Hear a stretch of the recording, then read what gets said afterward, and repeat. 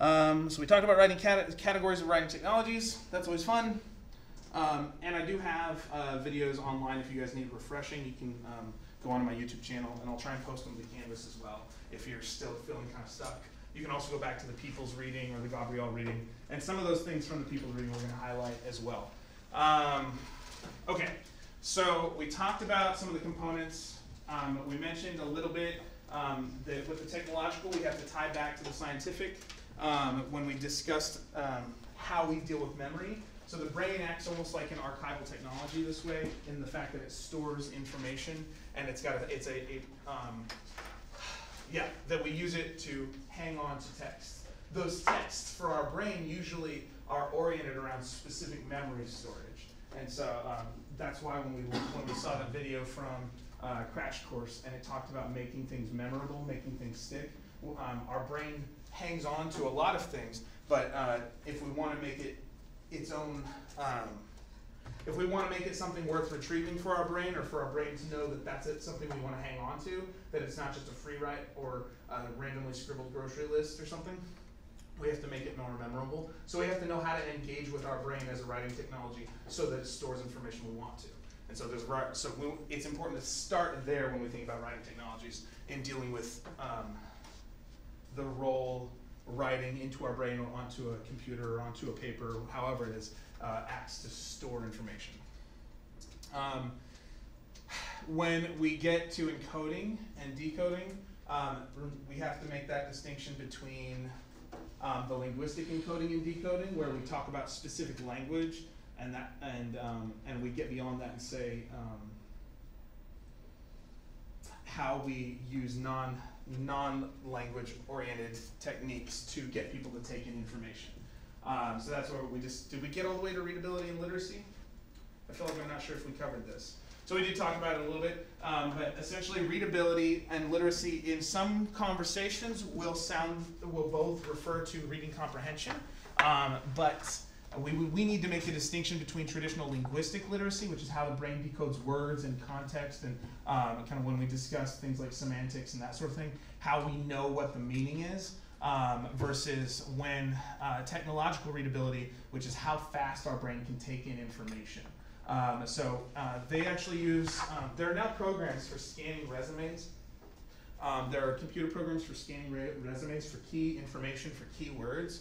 And so this concept of readability um, is not just something that humans have to be aware of, but also um, that we've developed software to do for us a little bit to make sure that the kind of uh, the in, in the case of resumes to make it clear in that initial look that the person submitting a resume has stated key keywords or key qualifications. Um, so this idea of readability is how we can look at a document, take in information quickly, um, based not on the words necessarily, but how they're formatted. So if there are bullet points, if there are indents, if there are spaces between words, um, that's what that uh, people's reading discussed. When it, who here found that an interesting thing when you're looking at the words? Anybody try and read it out loud? That section in that reading? Yeah? A Couple of Yeah. It was it was easier with the spaces? Yeah. No, Or it wasn't? it was easier to read out loud when there was no spaces. Okay. Good. Um, so we've got so we want to make a distinction between readability and literacy, um, especially when we um, are talking technological readability, not reading comprehension. Reading comprehension has to do with language or literacy. Technological readability has to do with the things around the language that signal that tell us how to break up information so that our so that our brains so that our brain can upload the information faster as a result of non-linguistic or language-oriented cues. Um, there are a bunch of things with document design. This is where we stopped. Yeah. So um, this idea of readability relies heavily on um, visual design or document design. Um, the more practical side of this design, um, not the aesthetic side, um, not just trying to make something fun, but how do we present information in a way that people can understand it. So the more practical side of design for encoding information and facilitating decoding information. Um, visual design, we said, is of course aesthetic and rhetorical and structural. So when we talk about visual design, we can analyze a writer's choices regarding visual design on each of these planes or dimensions and each of these lenses. Um, so it's important to know which lens we're trying to think about visual design with. The same way when we talk about technologies or any particular thing we're dealing with, what's the lens we're, we're trying to use? Um, so, you know, for our class, we're looking at um, specifically a writing technology. So we want to not just look at the technology and how it impacts society generally, because that's more of an anthropological thing. We want to say, as a writing technology, how does it affect communication? And for our project, we're also using the rhetorical lens. Um, and so with that, we want to look at those specific rhetorical components audience, purpose, topic, scope, stance, exigency, um, and those sorts of things. Um, and when we say audience, we don't just mean generally, we, we could do stakeholder mapping, we could tie to primary, secondary, collateral audiences, and some of those other things we've discussed. Um, so we want to know, as we look at something, we want to know what lens. So with visual design, technologically, it's the lens of how am I strategically designing this text so that people can stick the information into their brain faster. Not are they enjoying it, not is it pretty, not does it help point to or convince someone of something or um, enforce my rhetorical purpose, um, but how do I make it so the reader can take it into my into their brains? Um, we don't, we're not using the Norton Field Guide, but sometimes I do, so I've got that link down there. Um, we can use, if we go to this usability.gov, the what and the why on visual design, um, I think I mentioned when we talked about it in the rhetorical, rhetorical that with visual design, um, one of the challenges um, is that when you go looking for resources on it, you get the mashup of its roles. So a lot of times, so even this source I have, it's got a list of the components, but it ties in, in on that page, it ties in aesthetic values, it ties in um, rhetorical values, and it ties in technological values all at once. But there's a list of 20 or 30, which we may uh, dig into here in a little bit. Um, but let's let's just practice this a little bit. And so some of you already have when you if you looked at that uh, section from People's. So I'm just going to highlight part of that reading from the People's article um, from 2003. Take a moment and try and read this in your head. Take about a minute.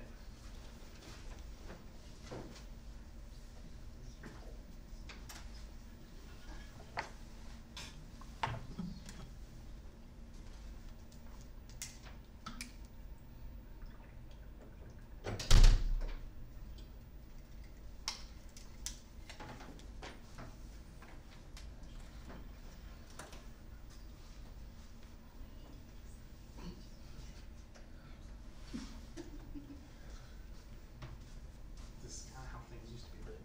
No punctuation in some languages. like this to test into, I think, one of my old schools, and then we fall into the words in like less than a minute. That's an interesting way to test someone's cognitive. Where are you at? Tell me where you're at. What line? Two. If you're on the second line, raise your hand. If you're on the third line, raise your hand. If you're on the fourth line, raise your hand. If you're on the fifth line, raise your hand. Sixth? Nobody got past the fourth. I finished. I got to the, almost to the end, like the last line. Okay, okay, so a couple. Um, was that hard? Yeah. What's the passage about? The big thing was, um, now preparing. paper and how it took over from the tablets. Okay, uh, let's try, so we'll talk a little bit about some of the topogra- typography. I always get topography and typography mixed up. Topography is mapping oriented. Let's not confuse ourselves. Now read this one. Wave at me when you're done. That's not the full thing. Just read. Am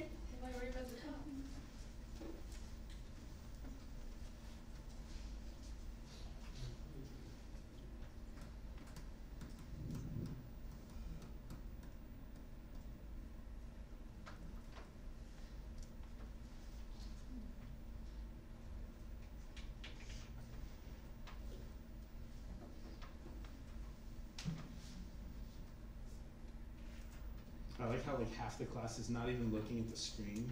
You're just like, I just read that. I'm not doing. I get it. Uh, the other half of the class is like, yeah. Um, okay, maybe not. But uh, when we look at this, like obviously, theoretically, obviously, when I ask the question, which one's easier to read? Top one or the bottom? The bottom. That is why they created spaces between words in the first place. But that was not always how they wrote. That is not always how we were trained to write. Um, now, what is it? What else about this text is different than we might see on a daily, on a usual daily basis? All caps. Anything else? No periods. What did you say, Michael? It would because there's no punctuation. it feels like a run-on, but punctuate. It's only a run-on if you're using punctuation. If, if the comma has been invented, right? So if you go back and read a 14th century piece of writing and there's no commas, you're like, okay, maybe it's because they didn't have them yet. I can't remember exactly when the comma came into English, so I should look that up. But yeah, like think think about the people um, who were who were grading your papers in seventh, eighth grade with all the marks about punctuation, and look at this and go, dang, those guys had it easy, right?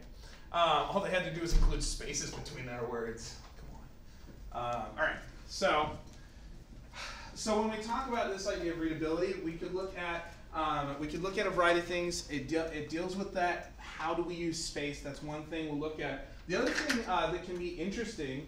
Um, I'm going to put this on the board, but um, the all caps is actually um, so they've done um, they've used what's called eye tracking software to study how fast someone works through um, texts like these to figure out like what is the what's the most effective uh, typography and font style um, and that sort of thing.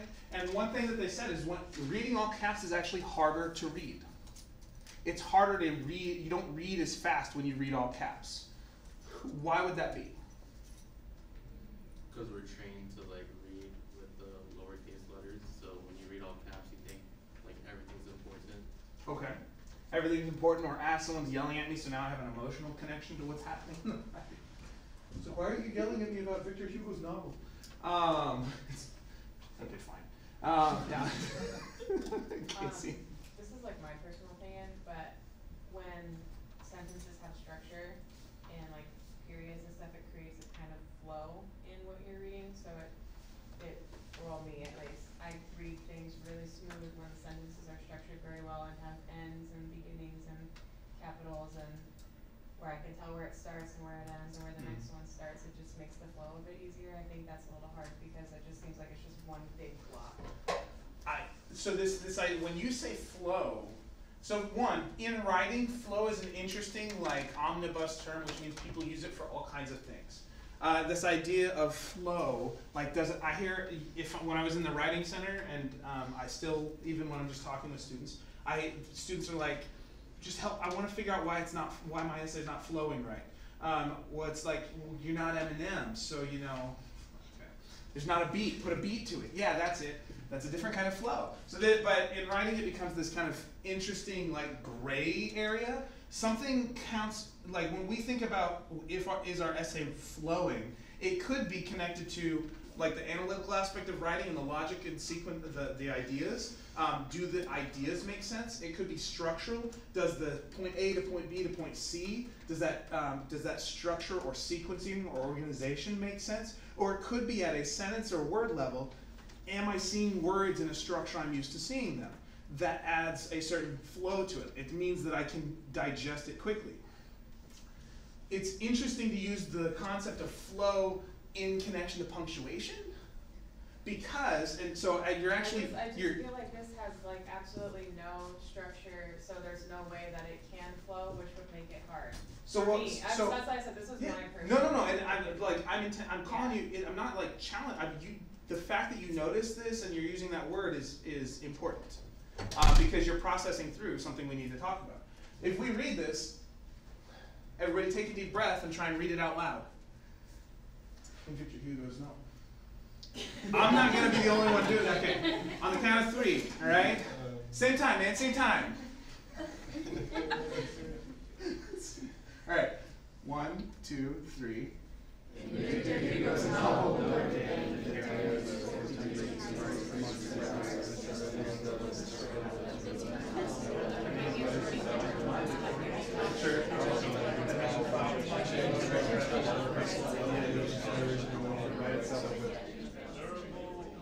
Who knew where to breathe? Don't breathe. Who here was ever told punctuate when you breathe?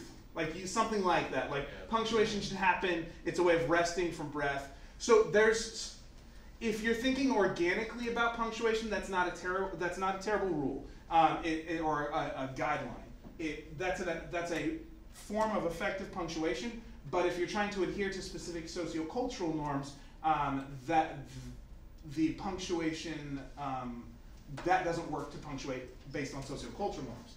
But it's a good rule of thumb to help break up the writing for your reader. Yes, Ashley. I feel like maybe the reason it's so much easier to read, like when there's the spacing and when there's punctuation and kind of the inflection that having that structure gives, then it maybe it codes differently into our minds because it codes more like a spoken language. With the punctuation.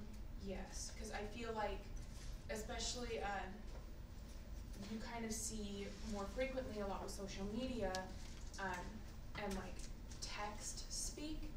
Uh, as this generation has kind of formed a new way to write that wouldn't technically be considered, um, grammarly sound, but it linguistically, um, we all understand what it means because it kind of communicates in a way that's more similar to actual conversation. Okay. So maybe it's kind of like those were the first steps towards that. Okay. Yeah, and I mean, we're, we're dealing with how languages get generated. This is at the early stages of how the written language of English is being processed and generated. Um, when we're talking about text speak, we're in the early stages of how text speak is being generated. And users of that language are better at understanding or decoding that language. People who don't use that language and are used to a different sociocultural norm or, complete, or different language, um, they don't. And so, yeah, you're, you're tying in really, you're connecting this in a nice way. Good job. Um, so, yeah, um, with when we think about the way we process language, there's um, so not only do those, not only is it that we need to be used to it in the first place, um, it, it needs to be a language we use or the way we speak. Um, but sometimes just in written form, even if you're really, even if you're a really effective oral communicator, in written form there are certain cues you have to give your reader that you don't have to give a speaker or don't have to give a listener. Um, we use a lot of body language to indicate uh, or to signal things when we communicate. Um, I mean, I'm really, I'm really, I gesticulate wildly sometimes. But um, you know, you, if you've seen in movies, or uh, maybe you've just seen me talk um, and do this. But when someone's trying to talk sequencing or talk through something, and there's multiple points, like sometimes they'll do finger one, finger two, finger three, like that. Like I got three points. Like there's that, and there's that, and there's that. Does that make sense? Okay. And then um, uh, and then other times maybe they'll do like they'll do this thing from top to bottom, like indicate some sort of level sequentially with this physical motion. So if you're listening, you have no idea, and this is my point exactly. Um, just thinking about thinking out loud. Um, but we don't have to signal certain things. Now the whole class is creeped out because oh yeah, there's a microphone. Um, we don't have to think about those things in person with people. We don't have to think about things like punctuation because the person pauses because the person uses other other ways, nonverbal forms of communication, non-language oriented forms of communication. So when we're talking about this um, in speech form, our body language becomes that other system. In written form, um, the punctuation is supposed to indicate things like breath or indicate that body language in essence. They're ways of signaling um, other the, how we're structuring something. So. Um, there's another component to this that helps us process the text when we use it with punctuation. And if there's punctuation, it they those pieces of punctuation act as download points for our brain. So um, when we use commas, that helps us structure the information. Um, we, we learned yesterday, or the guy mentioned yesterday when he was talking about in that video um, about archival technologies, he talked about um, how when we shifted to, to the book codex from, um, from the scroll, it was a way of uh, kind of essentially breaking it up into packets, which is also how computer programs send things over the web because it's easier to send small bits, right? Well, our brain functions like that with language, and punctuation does that job. When we look at a big chunk like this, it's a little overwhelming, right? Did you would you agree this was a little overwhelming, especially that top section? Like looking at that and going, I have to read that. Who freaked out a little? Who threw up in the mouth a little? That's gross. I'm just thinking. Like, like suddenly all the anxiety. That's gross. I'm really sorry about that one. That's terrible. Um, but when we use punctuation, when we use commas, periods, semicolons, colons, uh, dashes, hyphens, quotation marks, these things break up a text in the same way someone's breath or someone bo- someone's body language does, but it also indicates to our brain download points. So every period says you can you can pause for a second and stick that in your brain.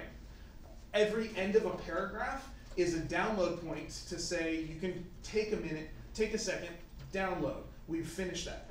One of the challenges, one of the reasons people struggle reading long paragraphs, or sometimes academic writing that has a page and a half long paragraph, or some sort of really complex thinking, um, is because the packet is too huge to, for your brain to digest.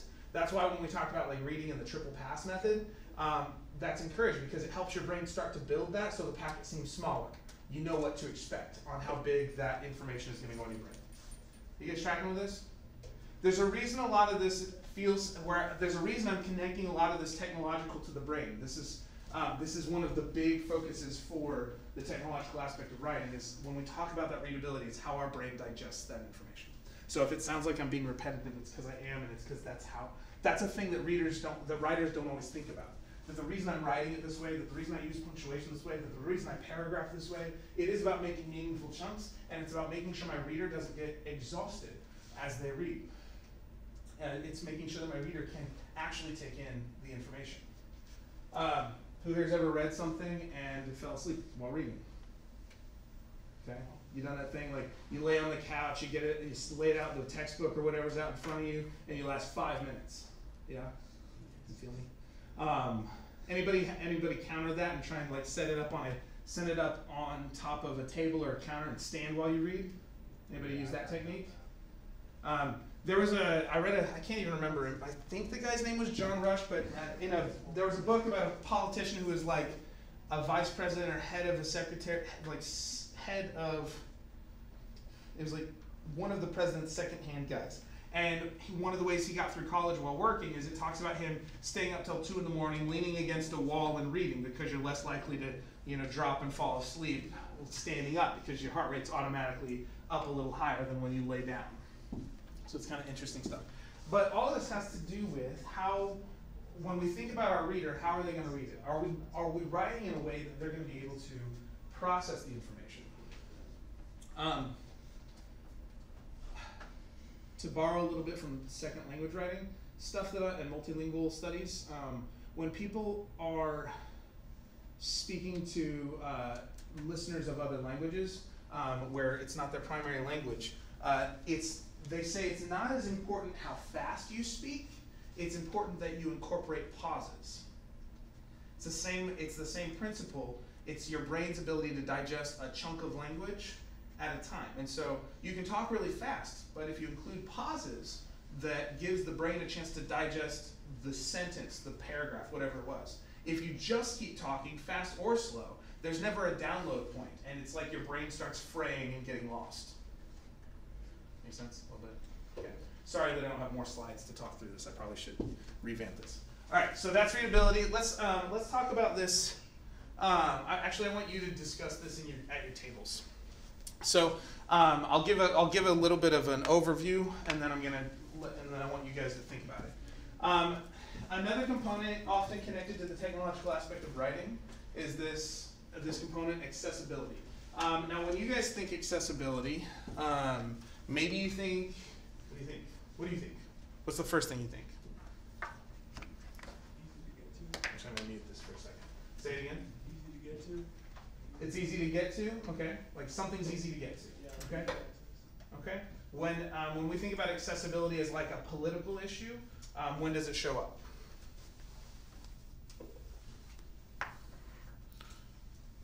Uh, maybe you can't like hear from your politician or like a certain politician and you won't vote for them. Like, If you can't hear from them, you said. if you like can't hear from them, hear like like know be like I don't know hear what they wanna like the platform they're standing on. I don't know. Okay. Yeah. So you, you can't hear them. if you don't yeah like if you don't know about them. Yeah. Okay, like you you just don't have access to who they are as, at all. You, okay, you don't even know they're running or what their platform is. Okay. Just like if you reach out to them and they don't even make an effort to like try to say something back. Okay. Do what? Politicians or politics? I said politics, like as a political issue, I think is what I said. Um, but maybe it's uh, as a social issue, maybe uh, accessibility when you go to the grocery store. What do you think of? Fruit that's in your price range. Say again. Is it in, Your if it's in your price range, your budget? Okay. What else? What else might link to accessibility? I have a grocery store. Yeah. It's on the top shelf or the bottom shelf. Okay. Cool. Um, what's the opposite of accessibility? Long lines. Maybe. If you what, if you can't access something, you don't have the ability to access something. What's the so what's the inverse of this? So it's usually disability. Accessibility, disability. Um, so when we talk about accessibility, uh, technologically, um, there are a couple levels we can think about it at, but this links to conversations for handicap spaces. This links to conversations connected to those little, uh, the, the rolly carts um, that, um, the motorized carts that they have at the front of the grocery store, the ramps, um, the, the bumpy yellow um, sidewalks that indicate to a blind person um, that a major traffic point is coming. Um, so this ties to that a little bit. So when we talk about as writers that concept, um, we want to say first something is most accessible if it's easy to approach, reach, enter, speak with, or use. So that's kind of where Adrian was going. Um, and then we can look at it from a couple different levels. The physical, our physical ability to use something, our technical skills or knowledge, and sociocultural access. Um, and there's actually, if you want further research or reading, if you decide this is something cool, you can go back into the slides um, and use this, uh, follow the special issue on accessibility or disability through Composition Forum um, from a couple years ago. Um, but go ahead and pause, um, or I'll pause. In your groups, discuss when some form of accessibility shows up in connection to writing. So someone's physical ability to write using your technology you're thinking about, someone's technical skill, how much technical skill do they need to write or to communicate with that thing or to receive communication? How much sociocultural access, economic, educational, think ideological apparatuses from Althusser that we talked about? Discuss that in your groups at your tables. Do that for two or three minutes, and then we'll share out.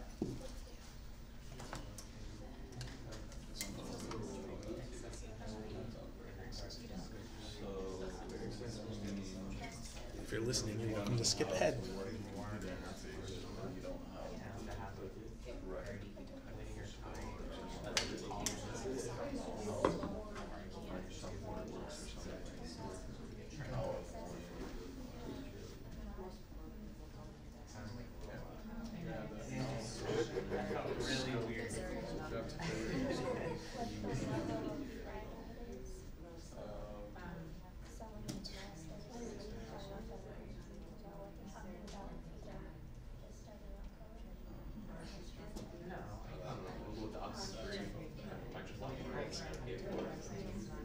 You could mention for one, but that linguistic and based off of technical functions. So let's say we have like a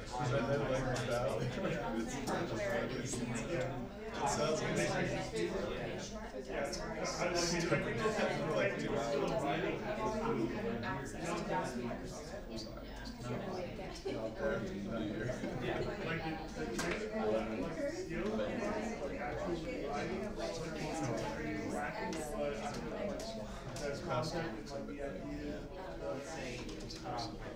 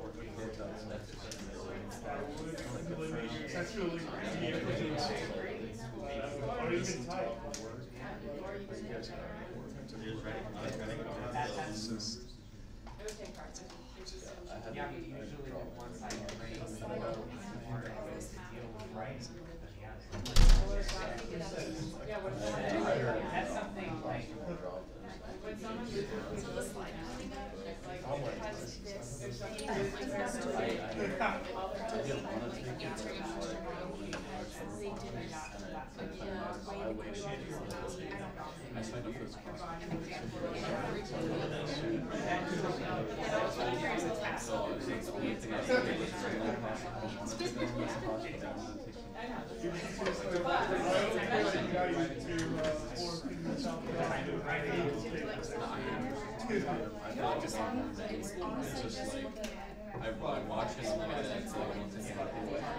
That's like like I think the thing that helps me learn most is question. And I don't wanna wait to an email, cause a out an email. Yeah, everyone's like, forty-eight, seventy-two hours for a response, I'm. Yeah.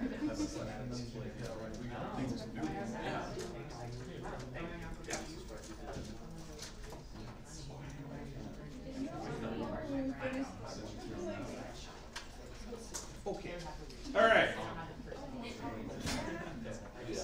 Okay. Um,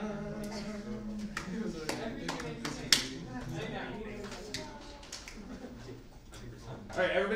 Everybody, stand up real fast.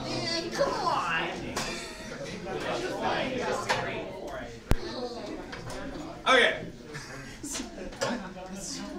Where'd that voice come from? If I disagree with everything you said, I just check out. We're just sort of right. Regret that I let you come into my 101 after you took my 102 and still care about your success. Um, I'm kidding.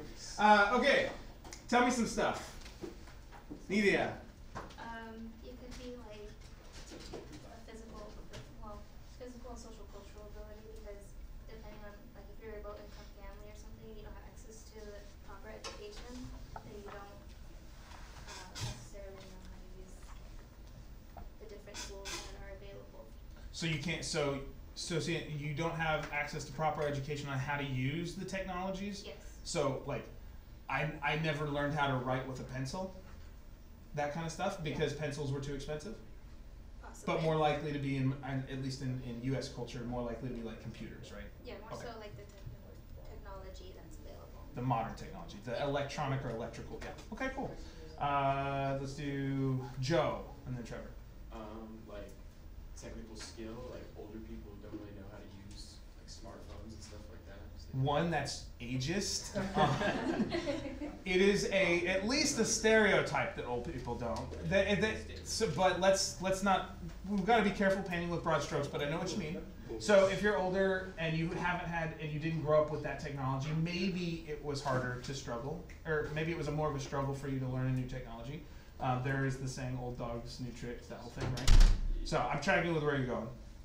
You have to be careful how you say it because someone's going to challenge you on ageism. But yes, yeah, because old, dog, old dogs can learn new tricks. Yeah, uh, but yeah, sorry, not to. Good job, Joe. Do you say Cheez-Its and rice? Are you hungry?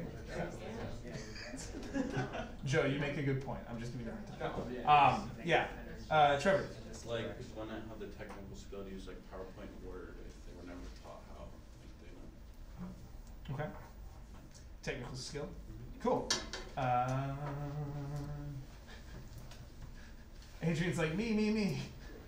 Oh, we just talked about kind of how like someone with a like a physical disability, like maybe visually, like they're visually impaired, uh, they might not have as good of a grip on like the physical, like uh, like the physical practice of like writing, like physically, but uh, they could still have like the con like good content in their mind, with the like text to speech program would be able to put it to the paper.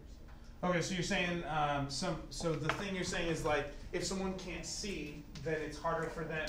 They it, they might have good ideas, but they struggle writing them out if they're supposed to do them with their hand, um, because they might not be able to know.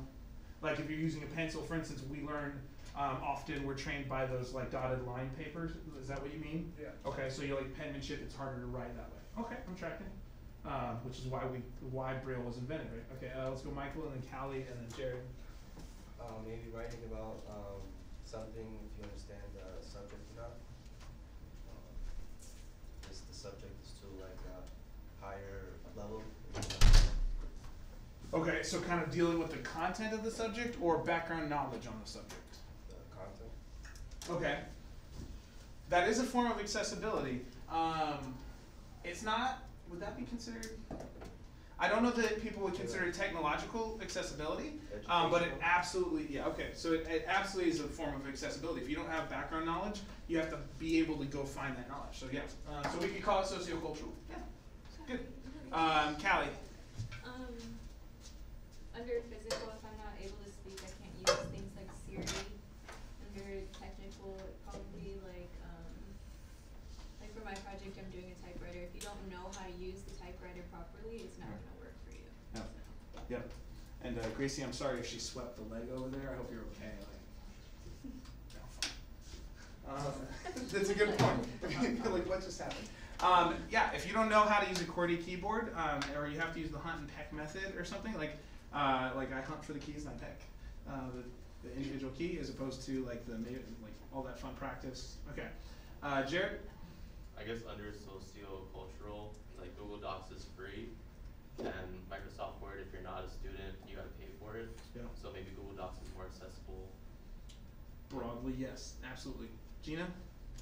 This is what I said, but, um, going based off what media said, um, you do have to, well, on my laptop, every time I go to grade papers, it'll bring up like a box saying, oh, you have to pay for Microsoft Word, and I'm Mm. like, no.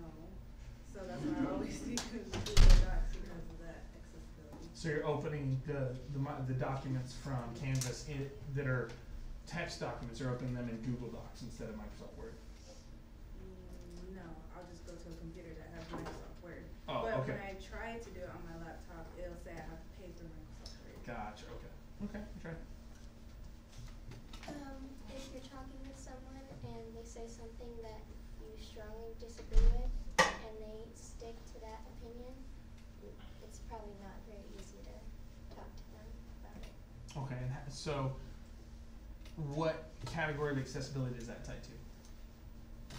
Um, Because you're right that that's a true statement what you said. How's that connect to this? well, I'm just mainly looking at, well, the definition for accessible. Oh, okay, like that easy to approach. Okay, I'm tracking. Okay, so that's like like some. Okay, so you can down. You're good. That's an interesting. So that's closer to like rhetorical accessibility. Like how do I engage my audience so that they'll hear the ideas? Um, so that's all what rhe- rhetoric is about. Is how do I deal with audiences? And when we get to uh, the Rogerian model, hopefully tomorrow, um, and some of the other structures, uh, we'll talk about like what are some strategies that we can try and get into or access um, someone else um, at a level that they'll listen. So that's really important. That's more rhetorical accessibility, and I've never thought of it in that language before. So thank you. I've thought of those concepts, but not put them together. Good job. Um, Ashley, and then Seth, and then Jacob, and then Casey.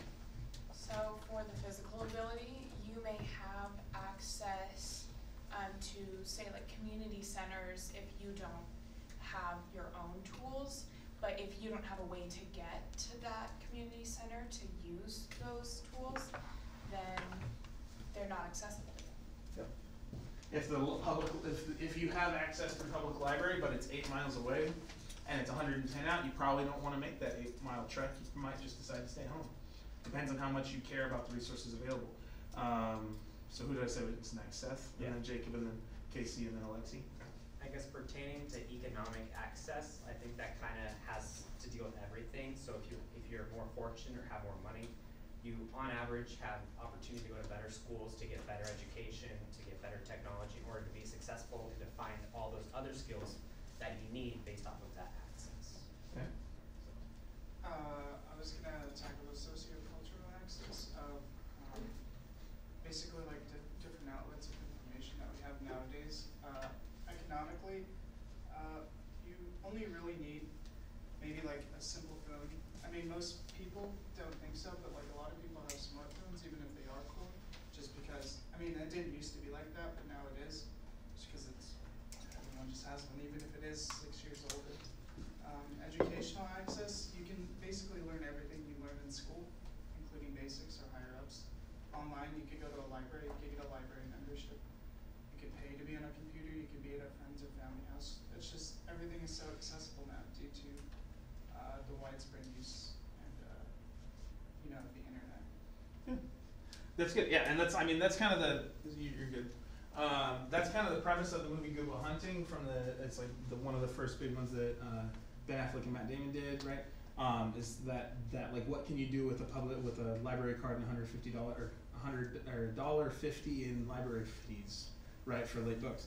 um, it, that kind of deals with that. Um, what becomes the challenge now is we have these massive archival technologies. Um, Google and, and other search engines and um, these databases that store all this information. The question is, how do we know? Um, now it's not a question of do we have access to the information, but how, how do we know what information is trusted? How do we know? And so that's where this starts tying to that scientific aspect of writing, where it's how can we trust the knowledge we get from the internet? We- have to have a mechanism, we have to have a, a way of dealing with sources um, that helps us uh, discern when someone's just kind of spitballing on a blog versus when someone's uh, been, done personal research in this area or can link us to people who have. Yeah, that's a big, big point. Yeah. Um, for like technical skills or technical abilities, uh, like, I was thinking like binary. Um, to most people, binary just looks like ones and zeros, Mhm. but it's like its own unique language and people can read it just by looking at it, but if you don't have any knowledge or any idea of how it works, it's literally just gonna look like ones and zeros and nobody's gonna know what it is Yeah. unless you know what it is. Yeah, and so that good, and that ties back to um, that ties back to um, the when we talk about technical skill with languages too. So maybe that um, I can't remember who was saying it now. Um, maybe that's what Gina was saying. But when it ties back to how we deal with um, some of those softer forms of accessibility, um, where it's like, do I have the language to access this text? Was it Michael or Gina? I feel like it was over there somewhere. Um, so yeah, when we're dealing with, can I read the language? Do I know how to decode the language? Do I have the vocabulary? How do I go about dealing with this thing? Um, you know, whether that's a new college class, we taught, we discussed. It's not, you know, you may be struggling math or your science class or your history class or your sociology class, but you may not. It, some people will default to, I'm struggling because I'm just not a good student. But what it is is you're learning a new language, and that ties to this idea of like you can't access the knowledge because you still have to develop that technical skill. You still have to develop that language um, to be able to engage with that technology, that writing system, or that content. Yeah. Um, yeah, Michael, it was you because you it was the content background, right? Yeah. Yeah. Uh, okay, Alexi, and then we'll just we'll let you be the last one. Everybody else can sit down when she's done.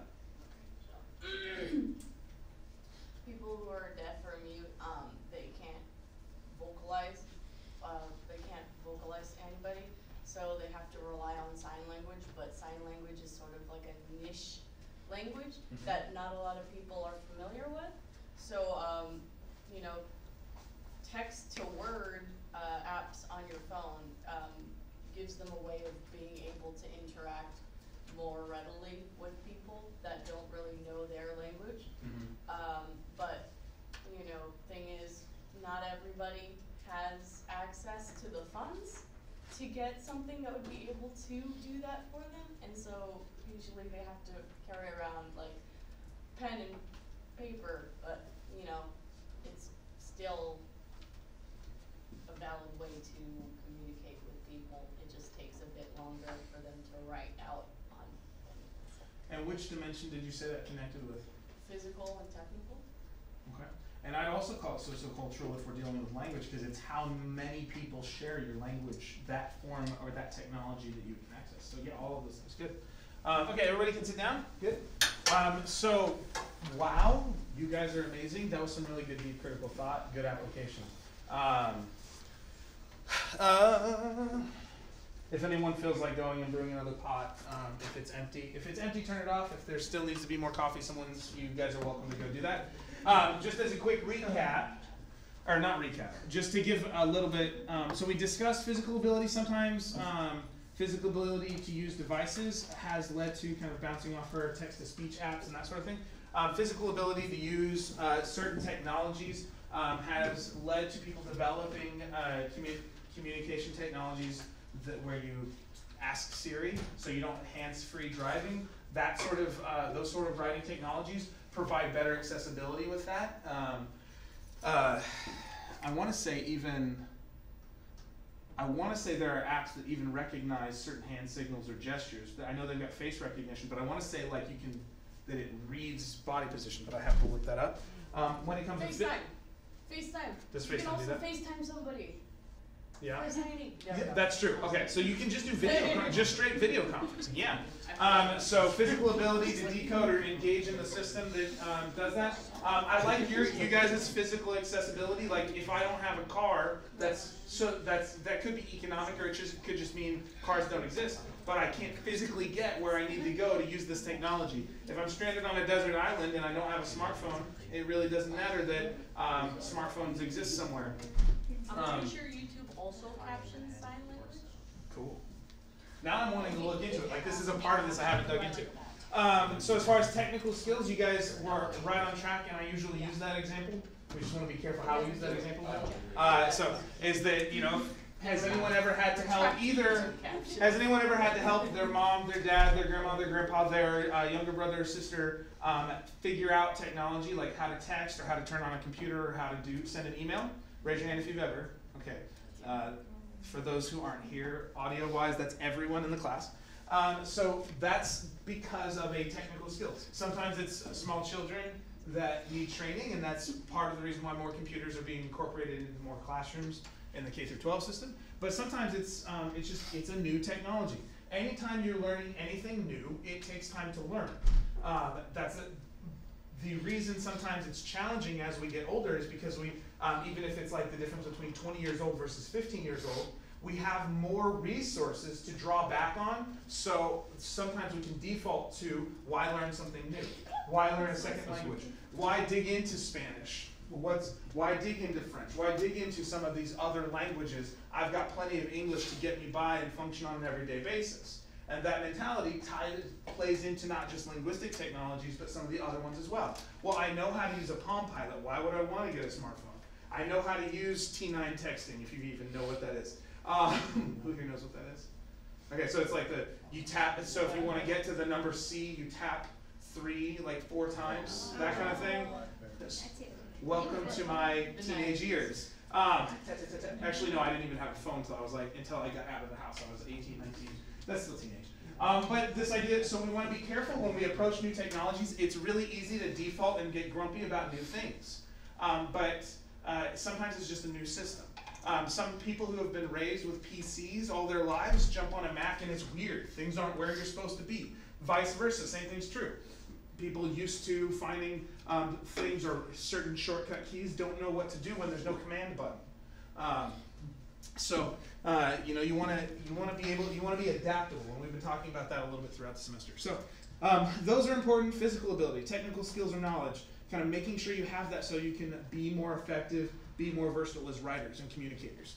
Um, the sociocultural access, you guys came up with some really great examples. Um, we can also talk like let's talk historically, or maybe uh, maybe maybe what are some sociocultural access issues now? Um, like who who when we talk like broad political scale, people who might struggle to have access um, to writing te- certain writing technologies. Poor class. What is it? A poor yeah. ma- So we meant poor class examples, so, or people who are lower income, um, right? may be something to look at. Um, more broadly, what else? Beyond just money, what are the other dimensions that limit people's access socioculturally? Maybe like your religion. Maybe okay. Why would that limit? So talk me through that. Amish. Yeah. That's about Tag team. Okay. At the end, check it right now. Let's see. That's a different song. Sorry. Yes. The dolls have Um, zero yeah. face. Zero face on dolls. Okay. I'm not quite, I think it's to uh, prevent vanity or something. Yeah. Okay. So. Moving on. But yeah. But yeah. Okay. So uh, certain, and we'll say certain Amish groups, because some Amish groups do have businesses and do use the credit card swiper, and it's interesting. Um, what? Uh, all right. Other things. Got another one? I think like even other religions, like they don't want you reading certain books and stuff like that. Okay. So kind of so that religious apparatus, ideological apparatus, kind of saying, don't read this, don't read that, don't because you might. And they may have they may have um, based on their ideologies important reasons for limiting that, but it still is considered a sociocultural limitation on accessibility. Yeah. I think government limits or censors the thoughts uh, through books and social media and internet and all that. What? Mao's China? Um, What? yeah, like yeah. So that's true. Um, I mean, that we do the. I shouldn't have been immediate so immediately. We do because in the U.S. we've had that too. Um, but uh, so we do at the banned books thing here on campus regularly. Um, and admittedly, there are age ranges like there's stuff that I won't let my daughters read. I'm not gonna let my daughters watch the Netflix Marvel specials. They're pretty gritty, right? Them seeing Daredevil slice somebody or like punch somebody in the face 40 times, like that's intense. I don't think my eight-year-old needs to see that, right? Um, I don't even know if I need to see it. I kind of just deal with it because it's part of the larger story. Um, but the, that sort of accessibility to text, yeah. War, like if you're confused Hashtag. at war. Like I just saw a video from some guy in Syria who was like eating breakfast in the morning and there were just like guns going off everywhere and there were like bullets ricocheting off his house and stuff and like if you're trying to go to school and get an education, if you can even go to school during that time, then it's gonna be really distracting, you're not gonna be able to learn anything, maybe not even like retaining, you might not even have a school, it might not even, It might it not might exist, it might have been bombed, yeah, yeah. Um, so that ties to physical accessibility. The reason I can't get there is a politi- socio-political conflict of some kind, military-oriented thing. Gotta dodge bullets to get to school. Probably not the coolest way to get there. Um, that's true in the U.S. as well, but the war's not the same kind of war, right? Um, again, neighborhoods I grew up in, sometimes that was an issue. Um, I remember how, like I was just telling somebody a story about a particular gang fight involved um, eight or ten gang members in two different gangs, and it was on my walk home. So we didn't walk that way that day, and we had to go like an extra half mile around. Um, thankfully, in that case, I don't think there were any guns used. It was just kind of knives and bars and stuff. Anyways, um, but yeah, like that kind of stuff. Um, that that's that's a thing. Um, okay, let's let's go. Let's take a wayback machine, uh, Mr. Peabody. Um, let's uh, let's if we're talking uh, sociocultural accessibility in the 1950s. J Money. 1950s. I don't know if this is the right time, but like maybe if you were a woman, you wouldn't be able to access as many things as a man. Maybe I'm too. You see, Callie's like throwing down on me. okay, I and don't know if so that's the right time period, but No, it is, it is. Talk us through it. Yeah, no, Alright. it is, it's. so nine. So other, you want to add?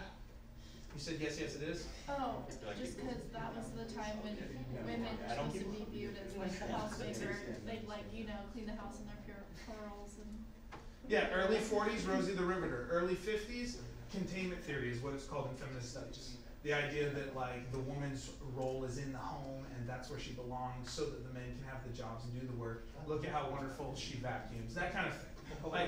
And and it's important. It is important to know that there's nothing wrong with being a housewife. There could be something wrong with the whole culture saying women should be housewives right? Like my wife is a housewife and she's good at it and she likes it and she didn't do it because someone told her she had to. Um, she chose that. So um, we, we talked through, we prayed about it, we did, we figured all that out. Um, so there's nothing wrong with being a housewife, but when the dominant culture is saying every woman should be, yeah. Um, but let's, but so that's yes. Um, let's also shift and make sure we're still focusing on writing or, or literacy and that sort of thing. What do you? Um, I mean, like, um, African Americans were really heavily imposed upon. They weren't allowed to go to like, um, nice schools. They, essen- their schools, if they, were- if they had any in their area, essentially got all the hand-me-downs from all the uh, other schools, all the, like, white schools. Mhm. Um, so they got outdated information. They didn't have access to a lot of the things that their um, wild, white counterparts at the time had. Uh, they were, um, you know, they were discriminated against. Racism was a thing, so it was pretty. It was Racism was a Ra- thing? Racism Yeah, was yeah, and still yeah. is a thing, but it was extremely heavy. Yeah, it's like you know, it's then. like people in the 1950s. They're like, "Why is George Washington Carver's book in, name in my textbook?" I'm No, pretty sure. Jim Crow laws were still a thing,